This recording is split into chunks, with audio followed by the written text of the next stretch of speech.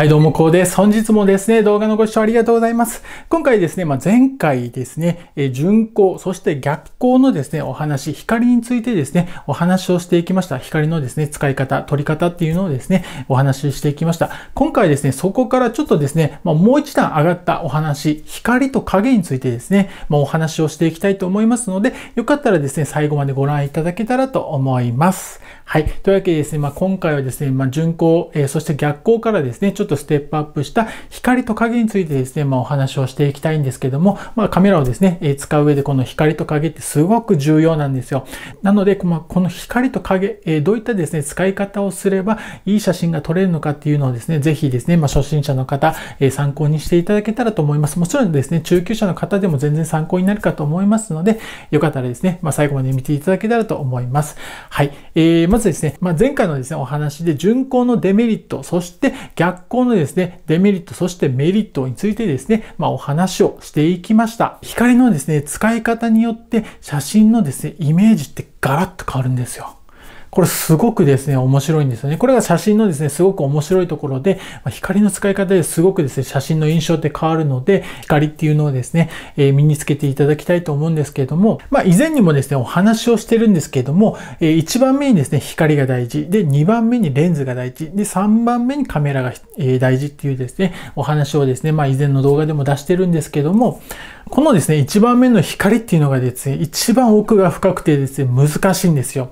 ただですね、この光がですね、一番簡単にですね、いい写真を撮る方法でもあるんですよ。なので、この光の使い方をですね、ぜひ覚えていただくと、すごくですね、その自分の写真のレベルっていうのがすぐポーンとですね、上がりますので、よかったら参考にしてみてください。で、そのですね、光の使い方のですね、一つの方法がですね、逆光で撮るっていうことなんですね。前回のですね、動画でお話をしていますので、よかったらその動画も見ていただけたらと思います。はい。で、逆光で撮るとですね、まあ、印象的なですね、写真が撮れるというですね、まあ、話をしていきました。前回ですね。なので次はですね、反逆光。のですね、まあ、話をですね、していきたいと思います。はい。で、反逆光とは何かっていうですね、まあ、お話をですね、まずしていきたいと思うんですけれども、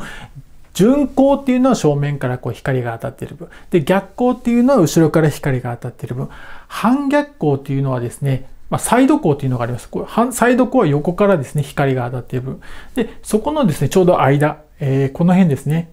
斜め後ろからですね、光が当たっているのをですね、反逆光と言います。はい。この反逆光もですね、逆光と同じようにですね、よく使われるですね、写真の表現方法、え写真のですね、光の使い方なので、ぜひですね、この反逆光の使い方、えー、参考にしていただけたらと思うんですけども、まずはですね、まあ、逆光の効果はですね、前回お話をしていると思います。まあ、前回お話しした内容なので、今回はですね、ちょっと割愛させていただくんですけども、まあ、知りたい方はですね、前回の動画を見ていただいて、ちょっと参考にしていただきたいんですけども、逆光の方はですね、このですね、反逆光、斜め後ろからですね、光を当てる意味についてですね、まあ、お話をしていきたいんですけども、えー、ちょっとですね、ここにですね、はい、紙に私、これ、見えますかね？はい、ここにですね、リンゴの絵があります。で、紙に描いたものなので、まあ、二次元のですね、ものになります。で、形や特徴でですね、まあ、リンゴってわかるかと思うんですけども、で、これにですね、鍵をつけたらどうなると思いますか？はい。こちらですね。はい。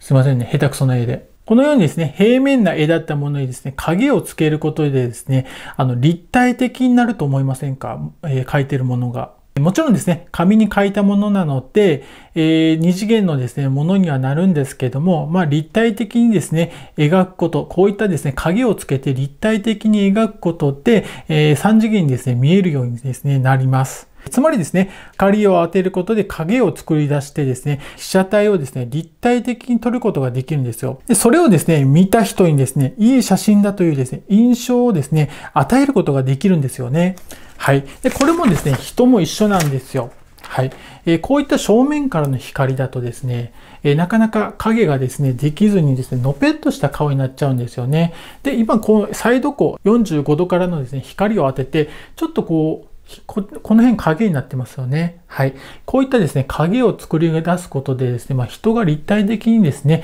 えー、見えるようになります。はい。で、私これですね、ディフューザーっていうのをですね、ライトにつけてですね、えー、撮ってるので、えー、こういったですね、肌をですね、綺麗にですね、撮りやすくしています。で、これをですね、ディフューザーっていうのを取るとですね、前回のですね、動画で言いました順光のようにですね、ちょっとあの肌がですね、えっと、あんまり綺麗じゃないので、こういった凸凹っていうのがですね、ニキビとかそういったものがですね、わかりやすくなるので、まあ、ディフューザーというですね、あの、光を拡散するものをですね、つけてから撮影をしています。えこういったですね、まあ、影、こっち側が影になってますよね。なので、えこういったですね、立体的に撮影することができます。こういったですね、ディフューザーがないとき、はですね、半逆光。この辺からですね、例えば光を当てることで、ここに当たった光っていうのが前に回ってくるんですけども、こっち側がちょっと弱くなって、こっち側の方がちょっと強めになるんですよ。なので、こういったですね、立体的なですね、影がちょっとうっすらと影ができていて、こっち側が柔らかい光が当たっている状態になるので、まあ、こういったですね、立体的なですね、写真をですね、撮ることができるんですよ。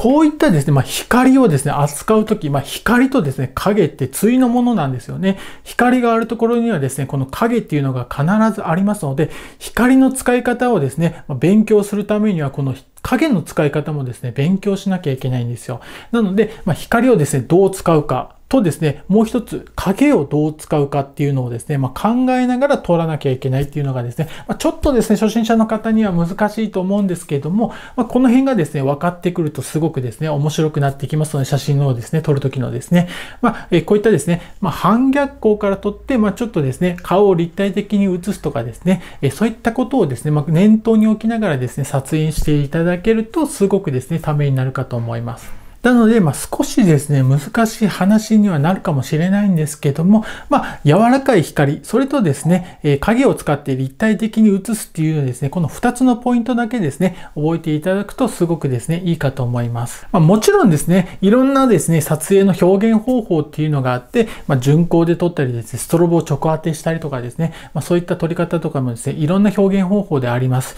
でその中で、ま逆光で撮ったり、反逆光で撮ったり、サイド光で撮ったりですね、まあ、巡光とかですね、まあ、そういったいろんなパターンありますので、まあ、その中でですね、まあ、巡光ってですね、結構皆さん撮ってると思います。なので、えー、今度はですね、その逆光、そして反逆光っていうですね、まあ、こういった撮り方もありますよっていうのをですね、知っていただければですね、もう私もですね、えー、この動画を撮った意味があるのかなというふうにですね、ちょっと思っています。はい。というわけでですね、今回は前回に引き続きですね、まあ、逆、えっ、ー、と、順光で撮った場合、そして逆光で撮った場合、そして反逆光で撮った場合のですね、お話をさせていただきました。まあ、参考になっていただけるとですね、まあ、嬉しいと思うんですけれども、まあ、ちょっとですね、光の使い方ってですね、難しいというですね、イメージがあるかと思います。ただですね、まあ、こういったですね、光を使っていろんな写真を撮ってみるとですね、すごく印象的なものがですね、撮れますので、よかったら参考にしてみてください。まあ、最後の方もですね、こういった逆光を使ったですね、写真をですね、いくつか紹介したいと思いますので、まあ、こういった写真が撮れますよっていう風なですね、えもので、え理解していただけるといいかと思います。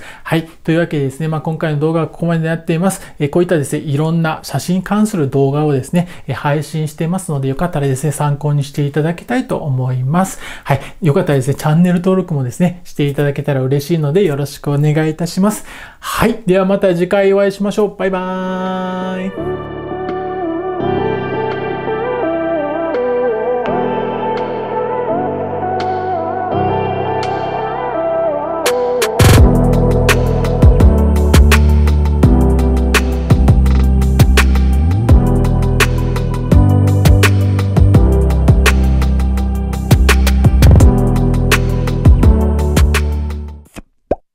でもやっぱり光の使い方とか影の使い方って難しいですよね。それはですね、確かにそうだと思うんですよ。なかなかですね、まあ、難しいと思います。なので、えっ、ー、と、影の使い方をですね、覚えるために絵を描いてみる。こういったですね、絵を描いてみるってすごくいいと思うんですよ。で私ですね、結構絵を描くのが好きで、まあ、あんまりうまくはないんですけども、はい。えこういったですね、絵にですね、影をですね、つけていくとですね、あ、こういう風に影をつけていくと、えー、印象的な、立体的なですね、ものになるんだっていうのをですね、まあ、感覚として覚えていくので、そういったものをですね、えー、写真を撮るときにですね、結構活かせたりするんですよね。なので、えー、こういったですね、まあ、ちょっとしたこと、まあ、隙間時間とかでもいいので、ま、ちょっとですね、影をつけながらですね、絵を描いてみるとかですね、やってみると、すごくいいかと思いますので、よかったら実践してみてください。ではまた次回お会いしましょう。バイバーイ。